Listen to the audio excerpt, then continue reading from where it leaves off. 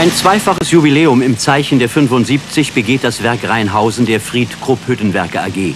In diesen Tagen erschmelzen die Hochöfner die 75 Millionste Tonne Roheisen seit Bestehen des Werkes. Vor 75 Jahren, im Sommer 1895, war bei Krupp die Entscheidung zur Errichtung dieses Hüttenwerkes am Niederrhein gefallen.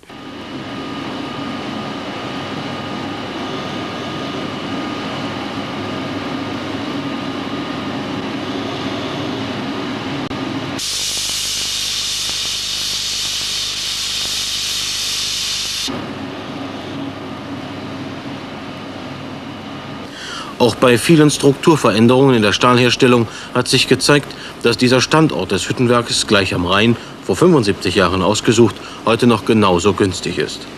Wichtig war bei dieser Entscheidung nicht nur die Lage zur Kohle, sondern auch zur Wasserstraße Rhein.